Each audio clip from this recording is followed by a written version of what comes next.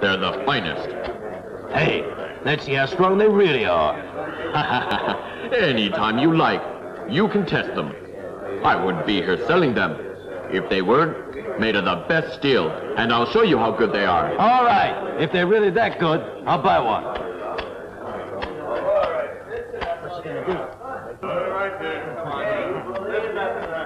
You can all see that.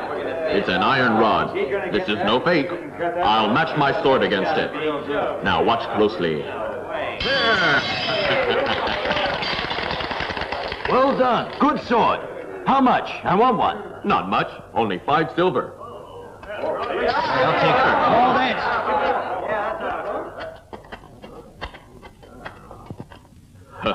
Good day, sir. What can I do for you? Who allowed you to trade here? Oh, didn't know permission was needed to sell things around here. Look, around this town, everybody has to consult me. You didn't get my permission to sell your swords here. You've got a nerve. Well, in that case, I guess I'll just ask your permission now. Right, you men, take him.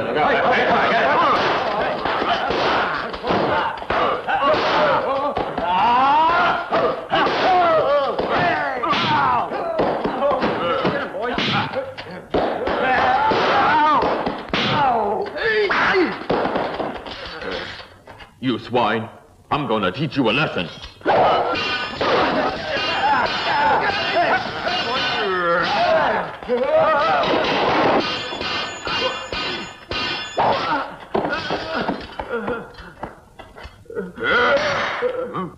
Don't bother. The man's just not worth the effort.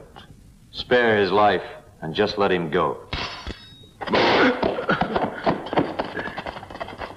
Get out of here. I'm Xiao Feng. I like the way you handle yourself. Tell me, what is your name? Name Shao, Iron Man Shao. And what can I do for you, huh? Since you can handle a sword, why are you wasting your time selling swords? Have something much more suitable for your kind of skill? Please go on. The Japanese have invaded us, scourging the land. I'm on a mission to recruit some men to fight them, organize some resistance against the Japs. Man like you would be a great help to the movement. Kill Japs? Why did you say so? Let's go. Right, but I still have to recruit some more men to help. Let's get some food. Come on.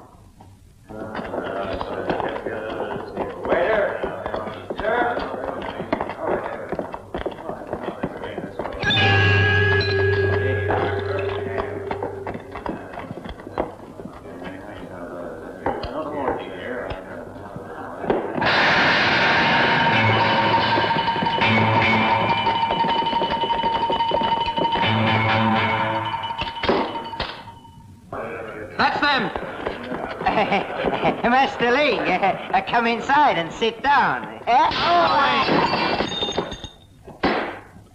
Come on. You men, get them. Right. Wait. Hmm? You spoiled my coat.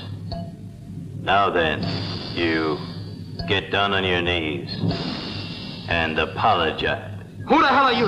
You had better keep out of this.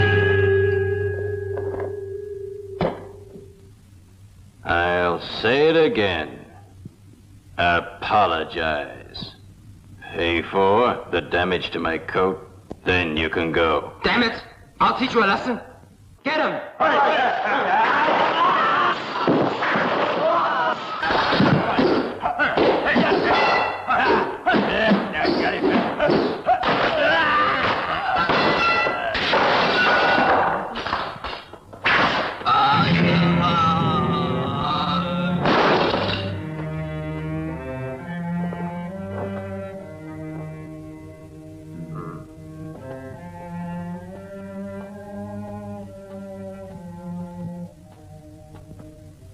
Handled that pretty good.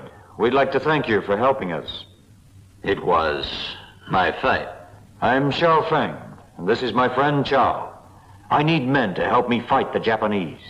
Go on. We're gonna make a stand against them back in Litown. Fight the Japs? Hmm. Hmm.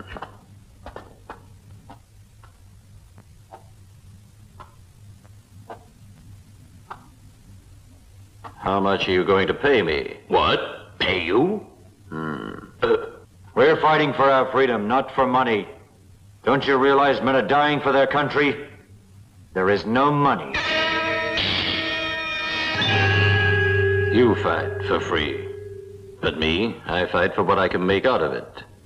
It was nice to have met you. Goodbye.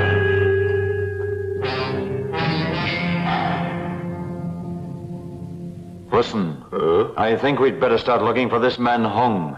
Come on, we'd better get a move on now. Yeah.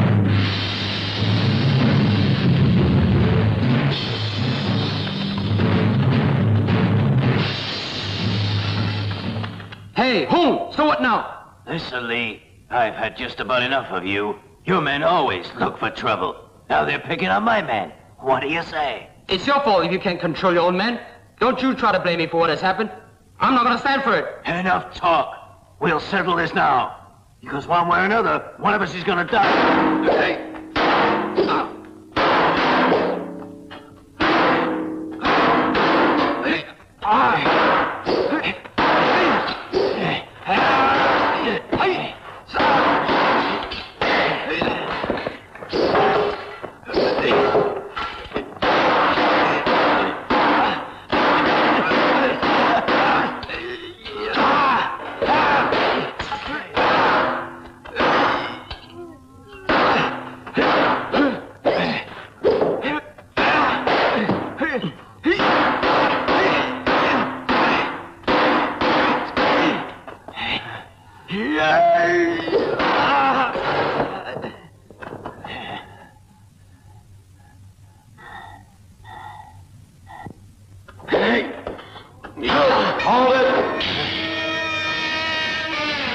Mr. Shaw.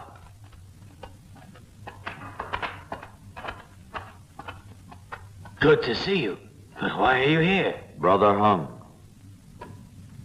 Glad to meet you. This is Chow. And by the way you handle those spears, you must be Mr. Lee. That's right. The two of you are very skilled fighters. Now, if you two were to join up together and fight the Japanese, it would make a lot more sense than fighting among yourselves like this. Think about it. Help me to fight the Japs. I guess you're right. We'll stop fighting and go get the chaps. I agree. Sure, we'll fight the Japs instead. Whatever your orders are, I will obey. You will find me a fair person in everything I do. Have your men join us at Lee Town near the beach of the War Gods. We'll go first. Right. Right.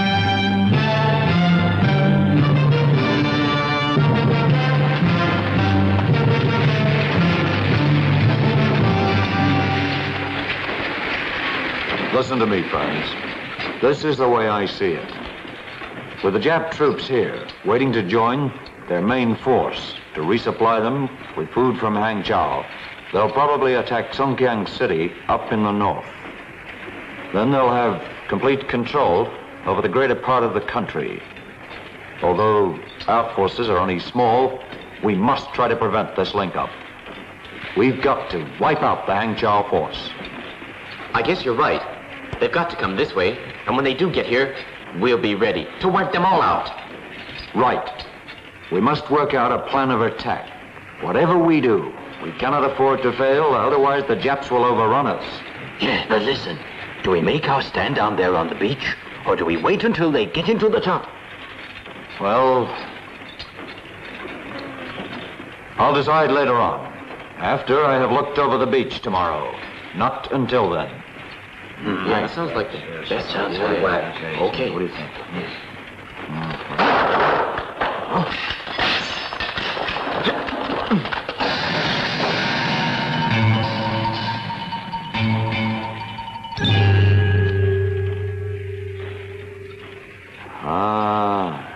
It's you, Mr. Lang. God damn it. Look here, Lang. Just how long have you been outside listening to us? I have just come back here from Hangzhou.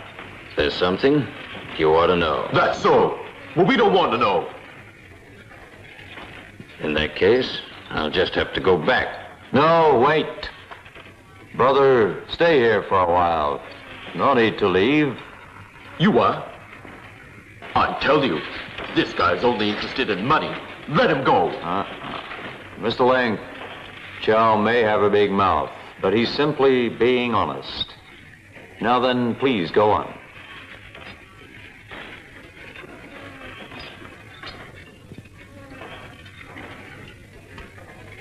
The Japs are ready to move out of Hang Chow.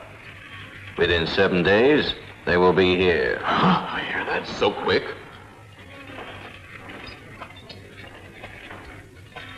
Seven days.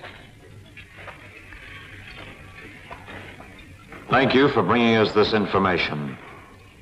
With seven days' warning, we should have enough time.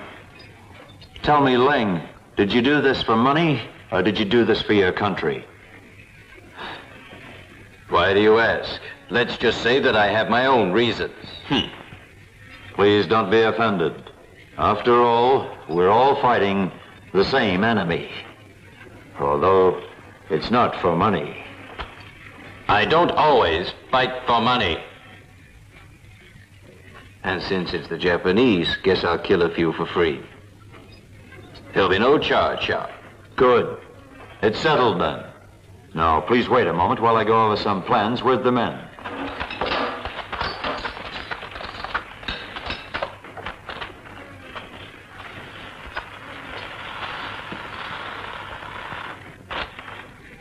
From tomorrow, half of our men will join up with Mr. Hung's troops. They will come under his training and Mr. Chow's. Sir.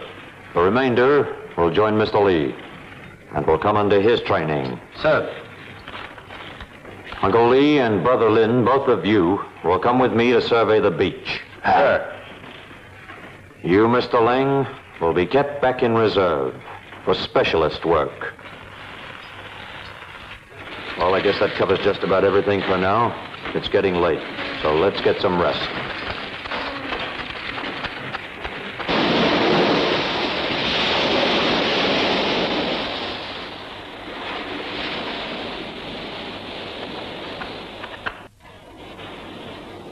Mr. Shaw, look.